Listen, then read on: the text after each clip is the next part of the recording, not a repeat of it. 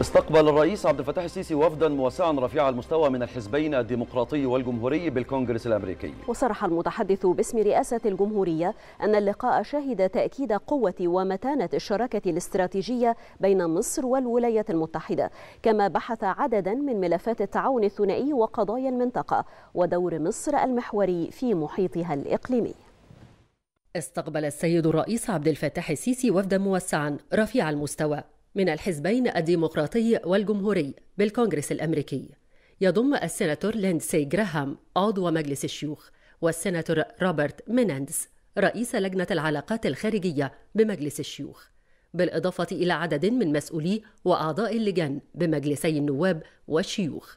وذلك بحضور السيد سامح شكري وزير الخارجية. صرح المتحدث الرسمي باسم رئاسة الجمهورية المستشار أحمد فهمي.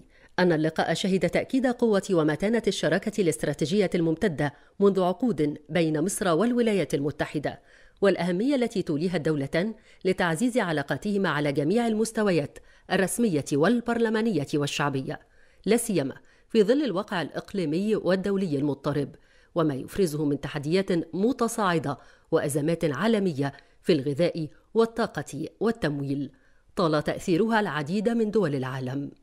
أضاف المتحدث الرسمي أن اللقاء شهد حوارا مفتوحا بين السيد الرئيس وقيادات الكونغرس الأمريكي تطرق إلى سبل تعزيز العلاقات الثنائية بين الدولتين لا سيما على الصعيد الاقتصادي وتعزيز استثمارات الشركات الأمريكية في مصر حيث تمت الإشادة بجهود التنمية الشاملة الجارية في مصر لا سيما على صعيد تحديث البنية التحتية وإنشاء المدن الجديدة وكذلك في قطاعات البترول والغاز والطاقة المتجددة والخضراء واستصلاح الأراضي الزراعية. كما تناول النقاش جهود مصر في مكافحة الإرهاب والفكر المتطرف وتعزيز حقوق الإنسان وإرساء مفاهيم وقيم التسامح الديني وثقافة التعايش ومبادئ المواطنة.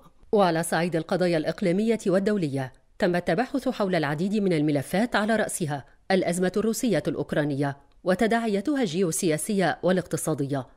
وسبل تعزيز السلم والأمن الدوليين إلى جانب المستجدات على الساحة الإقليمية وما تمر به المنطقة من أزمات لا سيما في السودان وليبيا وسوريا حيث تم التوافق حول أهمية الاسراع في التوصل إلى حلول سياسية لتلك الأزمات بما يحافظ على وحدة الدول ويصون سلامة أراضيها ومقدرات شعوبها مع تأكيد أهمية الدور المصري الإيجابي والحيوي في هذا الصدد.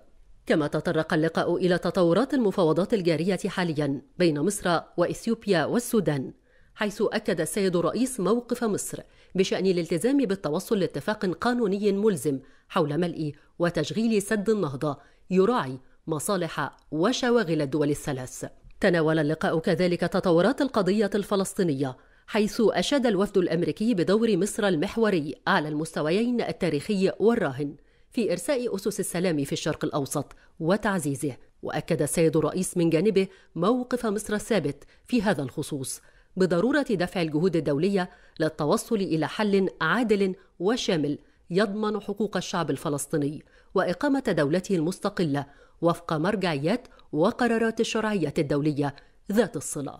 بما يفتح الآفاق الرحبة للسلام الدائم والأمن والتعايش السلمي. والازدهار لجميع شعوب المنطقة.